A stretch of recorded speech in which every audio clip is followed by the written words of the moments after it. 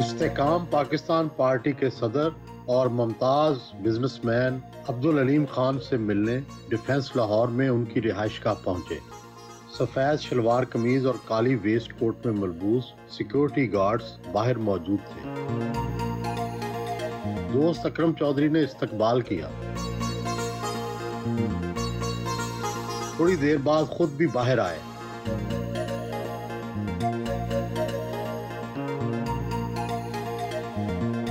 बेटे भी मुलाकात में मौजूद थे। मिडिल क्लास फैमिली से ताल्लुक़ रखने वाला अब्दुल अलीम ख़ान आज एक बहुत बड़ा प्रॉपर्टी टाइकून सियासतदान और इस्तेकाम पार्टी का सदर है। ये बताएँ कि आपने कितनी तालीम हासिल की और किस तरह यहाँ पहुँचे? जी चौई साहब मेरे वालदेन दोनों जो थे वो आ, जो है वो नौकरी पेशा थे। मेरी वालदा जो है वो प्रोफेसर थी। कहाँ पढ़ाती थी? वो फ़िलासफ़ी पढ़ाती थी अफवा कॉलेज में। जो मेरे वालद थे वो प्रोफेशनल बैंकर थे। वो एक बैंक होता था ग्रैंडल्स बैंक तो वो ग्रैंडल्स बैंक में थे। और वो रिटायर जब हुए तो वो ग्रैंडल्स बैंक से रिटायर हुए थे। आ, मैं जो था मैंने आ, पहले क्रेसेंट में गया। स्कूल मेरी क्रेसेंट था फिर गवर्नमेंट कॉलेज गया। फिर मैंने वहाँ से बैचलर्स करके बाहर गया कनाडा गया। आ, लेकिन आ, मैं अपनी एजुकेशन कंप्लीट नहीं कर सका। मैं लास्ट ईयर मुझे जो है वो कैंसर हो गया था और फिर मुझे उसका एक साल डेढ़ साल इलाज कराना पड़ा। तो बट अल्लाह का शुक्र है अल्लाह ताला ने मुझे सेहत दी और फिर मैं जो है मेरे कारोबार जो है वो अपने जब मैं कनाडा गया तो स्टडीज़ के दौरान ही मैंने अपना कारोबार शुरू कर दिया था। वो कैसे? वो मैं यहाँ से जो है वो अपना एक्सपोर्टर बना यहाँ से मैं गारमेंट्स भेजता था वहाँ पे मैंने रिटेल शॉप्स बनाई कनाडा में। कनाडा में? कनाडा में। और फिर उसके बाद मैंने वहाँ पे होलसेल शुरू की। लेकिन जब nineteen ninety six ninety seven में मैं बीमार हुआ तो फिर उस वक्त तकरीबन तकरीबन जो कारोबार था वो काफ़ी ख़राब हो गया। 98 में मैं वापस आ गया और फिर मैंने जो है यहाँ पे रियल स्टेट जो है वो मेरे ये पेरेंट्स ने इन्वेस्टमेंट की हुई थी एक पार्क व्यू में। और फिर मैंने अच्छा, यानी पार्क व्यू जो थी वो पहले से आपके वाले साहब ने? जी नहीं मेरे वाले साहब ने नहीं जी एक एक सोसाइटी जो है वो पहले से मौजूद थी। उसमें उनकी इन्वेस्टमेंट थी उन्होंने प्लॉट्स लिए हुए थे मेरे लिए बहनों के लिए। तो वो आ, मैं फिर उसमें आ गया मैंने उसमें आके शुरू किया काम। और आ, 2000 2001 2002 में एक रियल स्टेट काफ़ी बूम आया। और फिर अल्लाह ताला ने जब आपकी चीज़ें सीधी करनी होती हैं तो फिर अल्लाह ताला की तरफ़ से उसमें मदद आती है तो आपकी सारी चीज़ें जो है वो मेरी दादी मरहुमा कहा करती थी सारी पुठियाँ सीधियाँ कर देता। प्रॉपर्टी का कारोबार तो बड़ा मुतनाज़ है। नाजायज़ कब्जे किए जाते हैं बाज़ अवत ज़्यादा प्लाट पर बेच दिए जाते हैं ज़मीन कम होती है। क्या आप भी इन मरहल से गुजरे मैं जब ये पहली सोसाइटी बना रहा था नाइन्टी नाइन टू थाउज़ेंड में उस वक्त यहाँ पे बहुत सारे सियासतदान हैं जिन्होंने ज़मीनों पे कब्ज़े किए हुए थे। सोसाइटी की ज़मीन थी पेमेंट ले ली हुई थी ज़मीन हमारे नाम थी लेकिन लेकिन सियासतदानों के कब्ज़े थे। फिर सियासतदानों की पुश्त पनाही के साथ बहुत सारे लोगों के कब्ज़े थे और पीछे उनके वो सियासतदान होते थे। सो so, बहुत सारे इश्यूज़ जो हैं वो बिल्कुल जैनवन हैं और लोगों के कब्ज़े होते हैं और मुख्तलिफ़ मराहल में मेरे ख्याल में मुझे इसका सामना करना पड़ा। अगर चो सब आपको मैं ये कहूँ कि पूरी दुनिया में अगर आपने रियल स्टेट का कारोबार देखा हो तो other than the I T ये सबसे ज़्यादा जो लोगों ने प्रॉफिट कमाया आईटी के बूम से पहले वो रियल स्टेट वालों ने कमाया। जी सदर ट्रंप है मलिक रियाज साहब हैं। आप हैं? तो मेरे ख्याल में रियल स्टेट से बेहतर जो रिटर्न्स है वो दुनिया में और किसी भी कारोबार में नहीं है। प्रॉपर्टी टाइकोन तो आप बन गए। सियासत में कैसे आ गए? 2002 में आ, मुझे आ, शौक़ हुआ कि मैं सियासत करूँ मेरे कोई दोस्त थे। तो उन्होंने कहा कि आप जो है वो अगर अल्लाह ताला नवाजे तो आपको उसके अंदर कोशिश करनी चाहिए कि आप लोग कहते हैं ना जी ये प्रॉपर्टी टाइकून इसलिए आते हैं सियासत में अपने बिज़नेस की हिफाज कर जी वो इससे उलट है बल्कि जो अच्छे कारोबारी हैं वो सियासत में बिल्कुल नहीं आते। वो सारे सियासतदानों को अपने साथ मिला के रखते हैं। वो हर सियासी जमात का जो लीडर है वो उनके जेब में होता है। पैसे देते हैं? आ, मैं ये नहीं कहना चाहता सारों के सबके सामने नहीं कहना चाहता हुकूमत जिसकी भी आए उनकी हुकूमत चलती रहती है। तो आपने क्यों रिस्क लेने का फैसला मैं जो सब बाकी दोस्तों को भी कहता हूँ अल्लाह ताला जिसको ज़्यादा नवाजता है उसका इम्तिहान भी ज़्यादा। उसने जवाब भी ज़्यादा देना है। मैं और मेरे ड्राइवर का इम्तिहान एक जैसा नहीं है। मेरा इम्तिहान बहुत ज़्यादा है। और ये सब कुछ हमें किसने दिया है? ये हमारे मुल्क ने दिया कोई तो फाइनेंशियल सियासत में फिर इसलिए आए आपके कोई रोल अदा करना जी मैं चाहता हूँ कि हम सब जो है वो कंट्रीब्यूट करें। और कंट्रीब्यूट करें अपने मुल्क को बेहतर करने के लिए। आपको मौका मिला दो बार सूबाई वज़ीर रहे। आप समझते हैं आप कुछ कंट्रीब्यूट कर सके? जी मैंने अपने हलके में बहुत काम किया और जो महकमे मेरे पास रहे जिस महकमे में जब मेरे पास लोकल गवर्नमेंट था मैंने उसमें भी बहुत सारी चेंजेस लाया मैं उसमें बहुत सारा काम बेहतर करने की कोशिश की। फिर मेरे पास फ़ूड था मैंने उसके अंदर भी बेहतर बेहतर की और बहुत सारी नतज बेहतर हुए। आपने काफ लीग में सियासत की उसके एम पी ए रहे वज़ीर रहे फिर उसके बाद आप तहरीक इंसाफ में रहे अब अपनी इस्तेकाम पार्टी बना ली, उसके सदर हैं। आप ये बताएँ, इतनी पार्टियाँ क्यों बदली? किसी एक पार्टी में चले जाते, कोई एक लीडर भी नहीं आपको पसंद आया? चौधरी साहब ये वैसे बात तो बड़ी अनफॉर्चुनेट है, लेकिन यह है कि जब मैं आया था सियासत में तो तीस साल मेरी उम्र थी। तो मैं समझता था कि जब मैंने कंट्रीब्यूट करना है तो जो जो पहली जमात थी, वो काफ लीग थी। और आ, मैं अब उनके लीडर्स के बारे में कुछ नहीं कहना चाहूँगा। मेरे ख्याल में आ, मुझे कहना भी नहीं चाहिए। वो दोनों जो हैं मेरे पुराने जो लीडर्स थे वो दोनों इस वक्त चूँकि अच्छे वक्त से नहीं गुजरे तो जब बुरे वक्त में हो तो आपको किसी के बारे में कुछ नहीं कहना चाहिए। सो so, मैं तो उनके लिए दुआ गूँ अल्लाह ताला अगर उनके ऊपर कोई ऐसी लेकिन आपकी उनसे बन नहीं सकी थी। जी नहीं बनी नहीं बनी। मैं साफ़ बात है मैंने कोशिश की कि परवेज साहब से आपके मामला खराब ही रहे। चौधरी परवेज साहब से भी और इमरान खान साहब से भी हुआ ये कि मैं जो समझता था कि जिस तरीके के वो लीडर्स हैं अनफॉर्चुनेटली जब उनके पास इकतदार आया तो वो वैसे साबित नहीं हुए जैसे जैसी एक्सपेक्टेशन मेरी उनसे थी। चेयरमैन पीटीआई के साथ आपकी बहुत गुर्बत रही आपने बहुत इन्वेस्टमेंट भी की। क्या आप समझते हैं कि आप इमरान खान को पहचान नहीं सके? क्या मरदम शनासी में कमी आ गई थी? तो हम समझते थे कि पीटीआई वाकई वो जमात है जो कि जो एक नया पाकिस्तान बना सकती है और इमरान खान की शक्ल में वो वाकई निजात दहिंदा साबित होंगे और वाकई इस मुल्क को कहीं आगे लेके जाएँगे। और उन्होंने फिर उसके बिल्कुल अपोजिट करना शुरू किया। फिर वो लोगों की जो म्यार था सिलेक्शन का वो बिल्कुल उलट हो गया। फिर वो उसके अंदर दम दरूद आ गया। लोग कहते हैं आप इसलिए नाराज़ हो गए कि आपको चीफ मिनिस्टर नहीं बनाया और बजदार को बना दिया।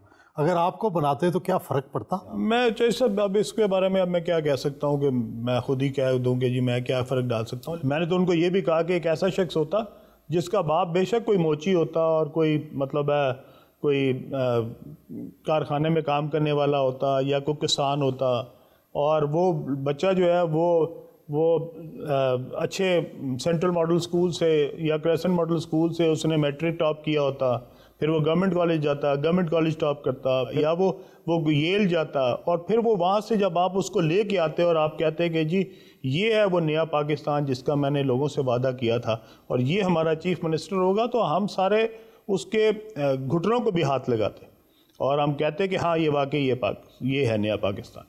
लेकिन जो बनाया वो आपके सामने ही है, वो ना सिर्फ़ नकम्मा तरीन था, बल्कि करप्ट तरीन भी था। क्या हुआ कि बुशरा बीबी पहले तो आपके साथ मुलाकातें भी करती रहीं पहले सब कुछ आपके साथ शेयर भी करती रहीं। क्यों खिलाफ हो गई आप? मेरे ख्याल में जो जिस तरह का उनको बुजदार चाहिए था एक बुजदार अगर आप एक ऐसा फिनोमिना का नाम लें एक, एक कहते हैं कि जब आप त्यारे में उम्र के लिए लेके गए थे उस दौरान कुछ हुआ है जिसमें नहीं कुछ नहीं हुआ। मैं तो मैं तो उम्र पे गया था। मेरे लिए तो वो हमारे बहनों की तरह थी भाभी की तरह थी। हमारे लिए वो कोई पीर तो नहीं थी। तो ना हम मतलब ना मुरीद थे। तो हम मुरीदी तो नहीं कर सकते थे ना हम वो हमारे लिए पीर थी या ना मुर्शद थी। तो जिनका जिनको अगर ये लगता है कि हम उस तरह की ताबेदारी नहीं कर सके तो हाँ वो तो नहीं मैं कर सकता। खान साहब ये समझते हैं कि खान साहब आपसे बुशरा बीबी की वजह से दूर हुए। जी मेरे ख्याल में उसमें मेन रीज़न तो वही थी। जिस तरीके से ये पंजाब को ऑपरेट किया गया और जो मैकेनिज़्म बनाया गया मेरे ख्याल में वो अलीम खान के होते हुए तो मुमकिन नहीं था। आप समझते हैं कि आपने बुशरा बीबी से कभी इस बारे में शिकायत की? नहीं मैंने नहीं की। मैंने इमरान खान साहब से बहुत की लेकिन मैंने उनसे कभी नहीं की। आप मिले ही नहीं कभी नहीं मैं मिलता रहा उसके बाद दो तीन दफ़ा मिला दो तीन सालों में क्योंकि वो प्राइम मिनिस्टर की बेगम थी तो इसलिए हम तो फिर उनसे उस तरह नहीं मिल सकते थे। क्या ये दुरुस्त है कि जब आप लोग उम्र पे गए तो बुजदार साहब जहाज़ में सीट के नीचे बैठ गए? तो किस तरह जो करते थे वो पूरी दुनिया को पता है मैं अब उस पर क्या कमेंट करूँ? नहीं आपका बाद में त्यारा नहीं इस्तेमाल हुआ? जी मेरा एक दो दफ़ा हुआ त्यारा इस्तेमाल लेकिन आ, मैं उसमें बुजदार साहब के अलावा भी बहुत सारे लोगों के नाम आते हैं जो ये जो नीचे बैठ जाते थे। जो नीचे बैठते थे लेकिन मैं अब उनका नाम नहीं लेना चाहता।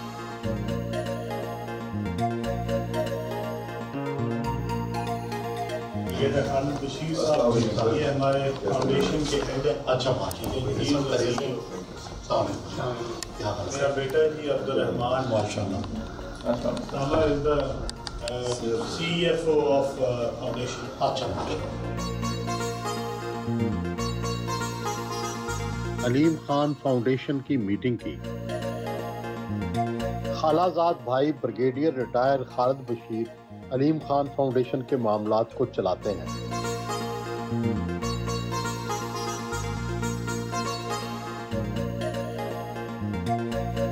नाश्ते की टेबल पर आए।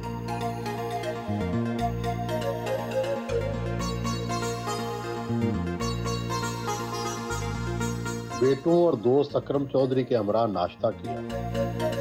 बेटे आपका नाम क्या है? मेरा नाम अब्दुल है जी। कितनी तालीम हासिल की? कहाँ कहाँ पढ़े? आजकल तो मैं यूनिवर्सिटी में हूँ जी। किस यूनिवर्सिटी में? मैं किंग्स कॉलेज लंदन में क्या पढ़ रहे हैं? मैं बिज़नेस मैनेजमेंट तो वालिद के बिज़नेस में आने का इरादा है या सियासत में आने का? बिज़नेस में आने का इरादा है जी। अभी तो सियासत की तरफ़ तो कोई कोई ध्यान नहीं। वालिद की सियासत पसंद है? वालिद साहब की सियासत पसंद है और काफ़ी वो ऑक्यूपाइड भी रहे हैं इसके अंदर। हम्म। लेकिन हम हमारा मेरा और मेरे भाई का वैसे दोनों का बिज़नेस की तरफ़ ही ज़्यादा है। सियासत की तरफ़ नहीं? नहीं सियासत की तरफ़ वालद की सबसे अच्छी बात क्या है और क्या समझते हैं कि उन्हें ठीक होना चाहिए? ज़रा बेहतरी आ जाए इसमें। बाबा की सबसे अच्छी बात यह है कि बाबा हैं दिखाते कम है बट हैं बड़े केयरिंग अंदर से। दिखाते क्यों कम है? लड़के हैं ज़ाहिर है हाँ। तो दिखाते कम है बट हैं अंदर से केयरिंग बड़े सपोर्टिंग भी हैं। जी आपका नाम जी? अब्दुलरहमान। आपने क्या क्या पढ़ा है? कहाँ कहाँ तालीम हासिल की? आ, मैं पहले एलएस में था इधर जी हाई स्कूल किया हम्म। यहाँ से डिप्लोमा किया फिर हम यूके चले गए मेरा भाई घर मैं। हम्म। और मैं अब अपने लास्ट ईयर में जा रहा हूँ किंग्स कॉलेज में। अच्छा आप भी बिज़नेस मैनेजमेंट कर रहे हैं? जी मैं भी बिज़नेस मैनेजमेंट सियासत में दिलचस्पी है आपकी? सिर्फ़ नॉलेज की हद तक है हम्म। लेकिन जाने का इरादा नहीं। तो फिर वालद की सीट कौन पुर करेगा? वो टाइम के हिसाब से फिर देखा जाएगा जी। तो वैसे मेरे भाई को ज़्यादा शौक है सियासत का। अच्छा अच्छा। वो तो कह रहे हैं मुझे नहीं शौक। कैंपेन की है इन्होंने मेरी 2018 में कैंपेन की अच्छा 2018 में कैंपेन किया आपने? जी किए बहुत किए अच्छा। तो उस वक्त फिर दिलचस्पी नहीं पैदा हुई सियासत में? कि और घबरा गए। नहीं मेरे ख्याल से वो मेरे अपने वाले साहब की सियासत देख के दिलचस्पी कम ही हुई है। वाले साहब की सबसे अच्छी बात क्या लगती है? वो स्पिरिचुअली ज़्यादा कारोबार करते हैं। हम्म, वो क्या? स्पिरिचुअली कैसे? मैं जितनी अल्लाह की राह में देता हूँ उतना मुझे अल्लाह वापस देता है। ये वो चीज़ है जो हमें कभी स्कूल में नहीं सिखाई गई। और क्या खामी है? कभी कभी डांट देते हैं लेकिन अच्छा है कभी कभी डांट पड़नी भी चाहिए। तो आप शादी किसी घोड़ी से करेंगे इंग्लैंड में को पसंद की या यहीं आके करेंगे? ये अभी फैसला नहीं किया।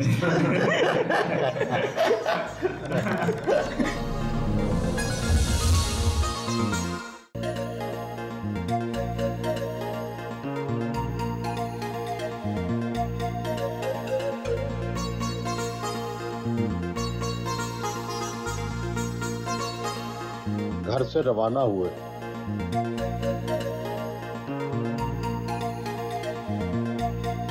रोज़ाना घर से निकलते हुए मेन रोड पर गरीब खातन में पैसे तकसीम करना उनकी रवायत है। अरबों रुपए के मालिक हैं। क्या कभी गुर्बत या फाका भी देखा? ये सब हम तो मिडिल क्लास फैमिली से थे। आ, मेरे वालिद साहब क्योंकि बैंकर थे तो आ, मैं ये तो नहीं कहता कि बहुत बहुत पैसा था रेल पेल थी मतलब गाड़ी देखी शुरू से। ठीक है ए देखे घर में। बस ये था। ज़िंदगी में सबसे ज़्यादा खुश कब हुए और गमगीन कब? सबसे ज़्यादा खुश मैं एक एक जुमले पे हुआ जो मेरी वालदा ने किया। मैं उनके पास बैठा था तो मुझे कहने लगी कि मैं अलीम तेरे ते बड़ी खुश हाँ तेरे ते बड़ी राज़ी हाँ। तो वो जो जुमला था वो मेरे ख्याल में आज तक मेरे लिए सबसे बड़ा जो एक खुशी का बायस है वो सिर्फ़ वो जुमला। और गमगीन कब हुए सबसे ज़्यादा? गमगीन अपने माँ बाप के बिछड़ने पे। आपकी बैंक में हिस्सेदारी है कई आपकी हाउसिंग कॉलोनीज हैं और भी बहुत से अब एक टीवी चैनल के भी आप मालिक हैं। कितनी वर्थ होगी ज़रा समझने के लिए? जी चाहे साहब ये तो मुझे पता नहीं मैंने तो कभी हिसाब नहीं लगाया। फिर जिस दिन हिसाब लगाऊँगा आपको भेजूँगा पचास अरब सौ अरब। कोई पता नहीं चाहिए साहब। लेकिन अंदाज़ा लगा सकते हैं ना एक खरब तो होगी। पता नहीं चाहिए साहब ये नहीं मुझे एग्जैक्ट नहीं पता। पचास अरब। कुछ थोड़ा बहुत अंदाज़ा तो आप खर्चते हैं तो पता तो होता है ना बस अरबों अरबों में तो है बस। अरबों में है। अरबों में। और क्या क्या बिज़नेस करना चाहते हैं? मेरी फाउंडेशन जो है आ, मैं चाहता हूँ कि अलीम खान फाउंडेशन जी अलीम खान फाउंडेशन वो वो मैं चाहता हूँ कि वो अब लोगों के लिए ज़्यादा से ज़्यादा काम करे। अब तक आप सियासत पर कितने पैसे खर्च कर चुके हैं? आपने पीटीआई के पहले जलसे से लेके इलेक्शन तक फंडिंग की। कितने के पैसे अंदाज़ा लगाया कभी? तेरह साल चौदह साल का हिसाब है ये तो मैंने कभी नहीं लगाया। लेकिन लगा इतना लॉस हुआ। लॉस नहीं है ये। ये ये अगर, अगर मुल्क के लिए आपने कंट्रीब्यूट किया है और आपने वाकई ईमानदारी से दो चार अरब लग गए होंगे।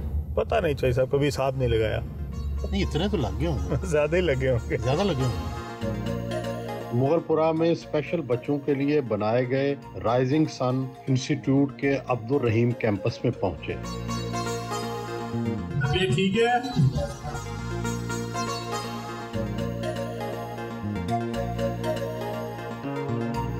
स्पेशल बच्चों को तालीम के साथ साथ वोकेशनल ट्रेनिंग भी दी जा रही है।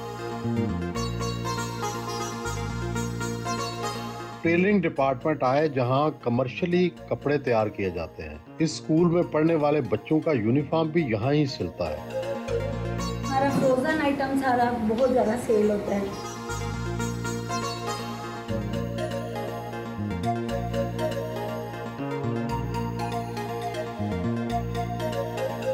चलो इस पे आओ इस पे आओ इस पे आओ। हाँ चलो। चलो वेल डन बच्चों के साथ गेम्स खेली। कोचेज इंटरनेशनल ओलंपिक्स के लिए बच्चों को खेलों की तैयारी करवा रहे थे। स्पेशल बच्चों के लिए ये जो प्रोजेक्ट है जो आपने अपने वालद के नाम मानून कर रखा है इस तरह के और कितने इंस्टीट्यूट हैं और इसमें कितने बच्चे हैं? सर इसको तकरीबन आठ साल हो गए हैं इस अदारे को। और ये यहाँ पे इस वक्त कोई ढाई सौ बच्चा है जो सिर्फ़ इस अदारे में इसका पर्पज़ क्या है? जो हमारे बच्चे हैं स्पेशल नीड्स के इनको ज़्यादा तवज्जो की ज़रूरत है। यहाँ पे प्राइवेटली हम कोशिश करते हैं कि ये सारी चीज़ें हम प्रोवाइड करें, बच्चों को घरों से लेके आएँ ट्रांसपोर्ट दें, फिर उनको यहाँ पे ट्रेनिंग दें, फिर जो रिहेबिलिटेट हो सकते हैं, उनके ऊपर वो कोशिश करें। उन बच्चों को अपने पैर पे खड़ा करने के लिए वोकेशनल ट्रेनिंग करते हैं, ताकि कल को ये अपने पैर पे जब जवान हो जाए तो अपने पाँव पे खड़ा हो सके, अपने लिए कोई कोई रोज़गार बना सकें, कोई बेकरी पे काम कर सके। तो इसके ऊपर जो है डॉक्टर तवाब साहब की और मिसेस तवाब की बहुत कंट्रीब्यूशन है। तो थोड़ा सा ये भी अंदाज़ा था कि डॉक्टर साहब ने लिबिया में बनाया था। तो उनको था कि यहाँ कुछ करें, डॉक्टर साहब। वो नहीं कर रहे थे कि नहीं, यहाँ मुझे गवर्नमेंट सपोर्ट नहीं होगी, कोई सपोर्ट नहीं करेगा। तो मदर को उस दिन रोते हुए देख के मैंने डॉक्टर साहब से कहा, आप करें या ना करें, मैंने कुछ करना है। तो डाइनिंग टेबल थी डाइनिंग टेबल से शुरू किया। एटी फोर से तकरीबन फोर्टी ईयर्स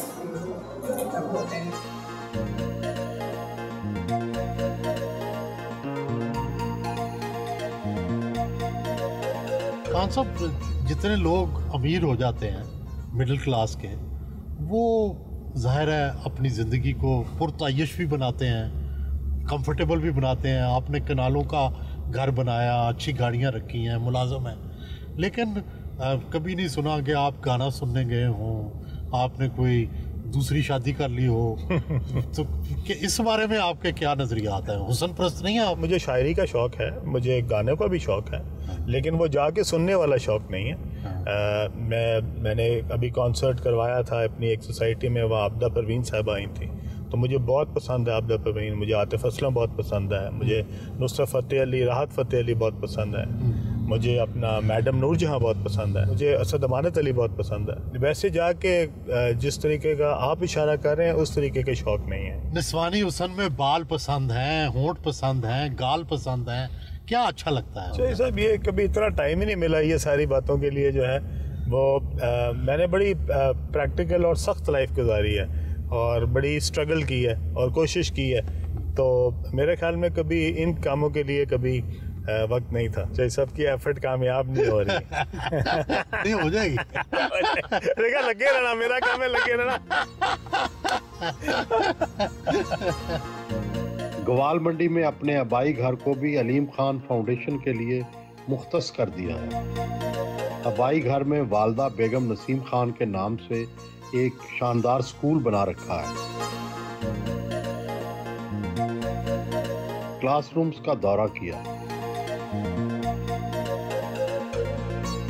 गवाल मंडी तो आपका हल्का इंतखाब नहीं है। यहाँ स्कूल बनाने का ख्याल कैसे आया? ये जो है मेरा आबाई घर है। और इस घर में मेरे वालद साहब ने ये घर 1948 में ख़रीदा और हम यहाँ से कोई 1981 में जो है वो गुलबर्ग शिफ्ट हुए। सो so, 81 तक जो है वो सारे हम यहाँ पे यहीं पे मेरी पैदाइश भी यहीं की है। पुराना घर था तो वो उसको आ, स्कूल नहीं बनाया जा सकता था। तो मैंने अपनी वालदा के नाम से इसको दोबारा से रीबिल्ड किया। और अब ये बच्चियों का स्कूल है। इनसे फ़ीस लेते हैं आप? नहीं इसकी कोई फ़ीस नहीं है जी। कोई इनकी एजुकेशन फ्री है इनकी किताबें भी फ्री हैं। और ये हमारी बच्चियाँ हैं और ये इनको मैं चाहता था कि एक ऐसा एक ऐसा इंस्टीट्यूट बने यहाँ पे जो किसी सूरत भी किसी किसी अच्छे प्राइवेट अदारे से कम ना हो। अब कितने बच्चे हैं यहाँ पे? कोई एक सौ चालीस पचास के करीब बच्चे हैं। और ये इंशाल्लाह हर साल इसमें इजाफा होता जा रहा है। ये पिछले दो साल से जो है ये बना हुआ है। स्कूल से मुलेका हिस्से में वालद के नाम से डिस्पेंसरी बनाई गई है। मरीजों को मुफ़्त अद्वियात भी फ्राहम की जाती हैं।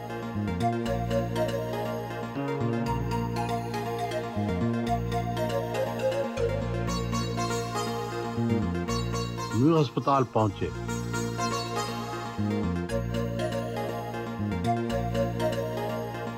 पुरानी बिल्डिंग को रेनोवेट करके वालद अब्दुल रहीम खान के नाम से जदीद डायलिसिस सेंटर बनाया गया है।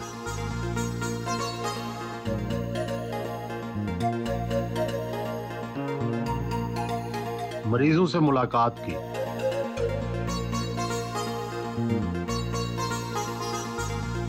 इलाज के साथ साथ मुफ़्त खाना भी फराहम किया जाता है। कितने डायलिसिस सेंटर कहाँ कहाँ कायम कर रखे हैं? जो मेरे वालद के नाम पे है, वो ये मेयो हॉस्पिटल है जहाँ हम बैठे हैं। और एक सर्विसेज़ में है, जो राजा साबर साहब के नाम पे है, जो मेरे ससुर थे। और एक मेरी वालदा के नाम से है, जो कि चिल्ड्रन हॉस्पिटल में है। ये तीन तीन इस वक्त ऑपरेशनल है। एक मैं अब इन ताला फाउंडेशन खोलने लगी है, कोयटा में एक नया डायलिसिस सेंटर और वहाँ के जो गवर्नमेंट है हम उसके साथ मिल के उनसे जगह ले रहे हैं। ये मेयो अस्पताल वाला आपने खुद बनाया? जी ये बिल्डिंग जो है वो पुरानी बिल्डिंग थी। ये इसको हमने रिफर्बिश किया सारा। हमें जो सपोर्ट है डॉक्टर्स की और नर्सेज की वो गवर्नमेंट की तरफ़ से है और इसकी जो बाकी अखराज है वो हम लोग उठाते हैं। एक मरीज़ पर कितना खर्च उठ जाता है? आ, कभी हिसाब नहीं लगाया जी इसका लेकिन जो मरीज़ों की ज़रूरियात हैं वो हम सारी पूरी करते हैं। खाना भी देते हैं। खाना भी देते हैं। ट्रांसपोर्ट के पैसे भी देते हैं। जी ट्रांसपोर्ट के पैसे भी देते हैं। इनको अगर कभी कई लोग ऐसे हैं जिनके घर में भी ज़रूरियात होती हैं उसकी भी मदद करते हैं।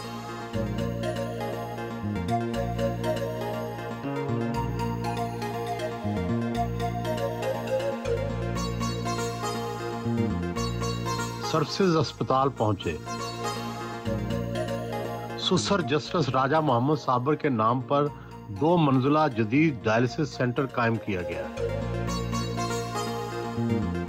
डायलिसिस सेंटर में जर्मनी से दरामद की गई 36 जदीद मशीनें नस्ब की गई हैं।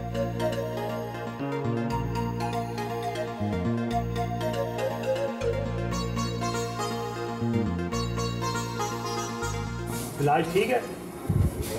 बहुत आला अच्छा। तसली आपकी? मैं यहाँ का एम एस भी रहा हूँ। यहाँ के हाँ। अच्छा। लेकिन इस तरह की चीज़ नहीं देखी कभी मेरे होते भी कब थे आप एम एस फोर्टीन। दो हज़ार चौदह में?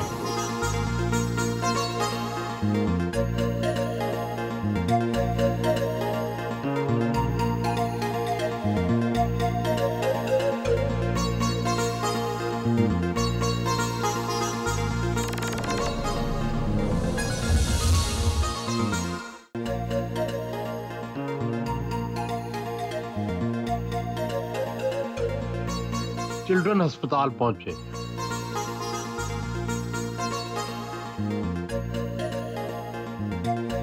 पूरा नेफ्रोलॉजी डिपार्टमेंट भी अलीम खान फाउंडेशन के जेर इंतज़ाम काम कर रहा है। चिल्ड्रन अस्पताल में वालदा बेगम नसीम खान के नाम पर डायलिसिस सेंटर बनाया गया है। बारह जदीद डायलिसिस मशीन फराम की गई है। जेलों में अस्पताल बनवाए, हर कैदी के लिए बत्तीस जेलों में आप पैकेट भेजते हैं जिसमें बहुत सारी चीज़ें होती हैं। यहाँ पे चिल्ड्रन अस्पताल में भी आपने नेफ्रोलॉजी वार्ड को अपना रखा है। जज्बा क्या है? क्या सियासत में भी ये मुमकिन है इस तरह के काम करना या वो इम्पॉसिबल है? नहीं चॉइस सब कोई चीज़ भी इम्पॉसिबल तो नहीं है। अगर आपकी नीयत ठीक हो जज्बा ठीक हो काम करना चाहते हो। ख़राबी कहाँ है? खराबी दोनों साइडों पे है। नीयत में भी ख़राबी है लोगों की और मेरे ख्याल में कॉम्पिटेंस में भी ख़राबी है। तो काम आता भी नहीं करना और काम करना भी नहीं चाहते। तो दोनों चीज़ें हैं। कफालत कितने लोगों की करते हैं आप? हमारे पास जी अब कोई आ, कोई बारह हज़ार सात सौ आठ सौ के करीब लोग हो गए हैं जिनके घरों पे राशन जाता है कफालत है। उनका कोई हम आ, हर महीने उनकी जो है वो उनकी जो ज़रूरियात है उसको पूरा करते हैं। और इसमें कोई आ, कुछ ऐसे लोग भी हैं जिनको अब हमने कर्ज़ हंसना देना शुरू किया ताकि अपने पैरों पे खड़े हो जाएँ। अलीम खान साहब ये आप जो इतने पैसे चैरिटी पे लगाते हैं लोगों पे लगाते हैं तो पैसे में कमी तो आती होगी। पैसे में कमी आती हो तो कोई भी ना खर्च करता हो। तो जैसा साहब ये काम बड़ा ये काम बड़ा ज़बरदस्त है ये अल्लाह के साथ कारोबार है तो अल्लाह के साथ कारोबार में घाटा नहीं हो सकता। पैसे बढ़ जाते हैं। बढ़ते हैं दबा के बढ़ते हैं।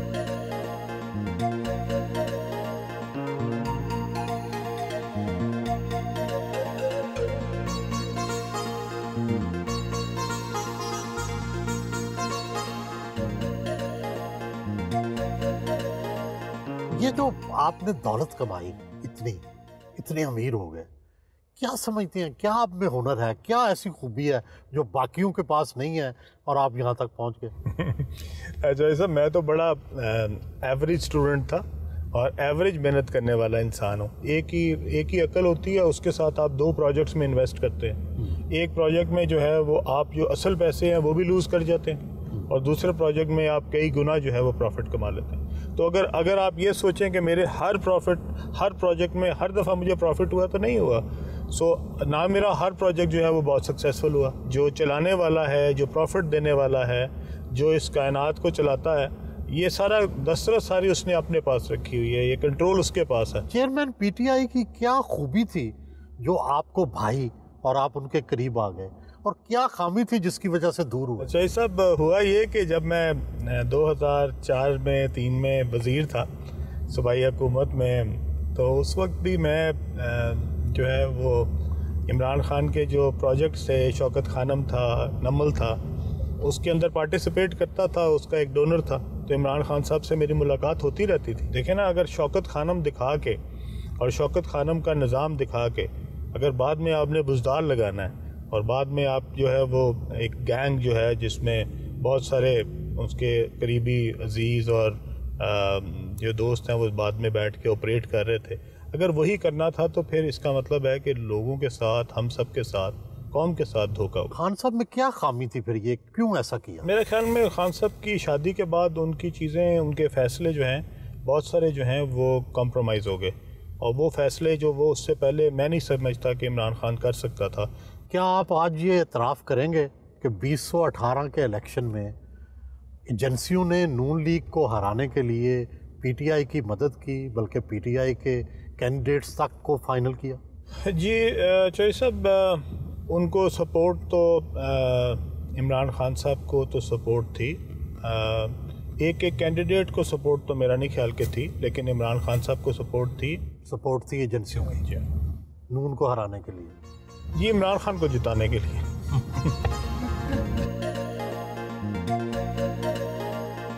कैंट लाहौर में यतीम बच्चों के लिए अपना घर के नाम से प्रोजेक्ट शुरू किया गया है। इस घर में इक्यासी बच्चियाँ जेर कफालत हैं।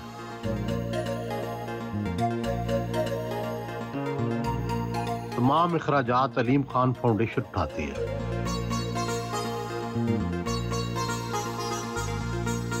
चाय पी। तमाम अशिया बच्चियों ने खुद तैयार की।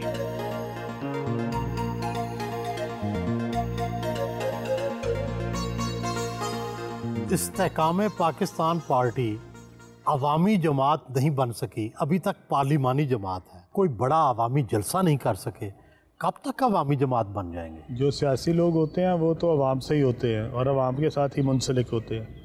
तो ये जितने लोग हमारे हमें ज्वाइन किए हैं ये सारे लोग अपने अपने हलकों में अपने अपने अवाम से मुंसलिक है। जो जलसा है वो हम तब करना चाह रहे हैं जब हमें कोई इलेक्शन का मोमेंटम नज़र आएगा। जहांगीर तरीन हो आप हो या परवेज़ खटक हो सभी इमरान खान से नाराज़ होकर अलग हुए ये बताएँ कि परवेज़ खटक और आप में क्या इख्तलाफ है जो आप इकट्ठे नहीं हुए? नहीं हमारा कोई इख्तलाफ नहीं है। परवेज़ खटक साहब मेरे ख्याल में समझते थे कि शायद वो अपना के पी बेस्ड एक ग्रुप बनाएँ। जबकि हमें तो जी जी जमाल साहब भी वहाँ से आए बहुत सारे दोस्त और आए। तो हमने तो बलूचिस्तान से भी लोगों को शामिल किया है। हम सिंध से हमें इमरान इसमाइल साहब आए, हमारे साथ अली जैदी साहब आए, हमारे साथ महमूद मौलवी साहब आए। तो हम तो ये जमात जो है वो गिलगित बल्तिस्तान में बना रहे हैं, आज़ाद कश्मीर में बना रहे हैं। सरदार साहब, सरदार तनवीर साहब हमें आज़ाद कश्मीर से ज्वाइन किया। तो ये ये पूरे पाकिस्तान की जमात है।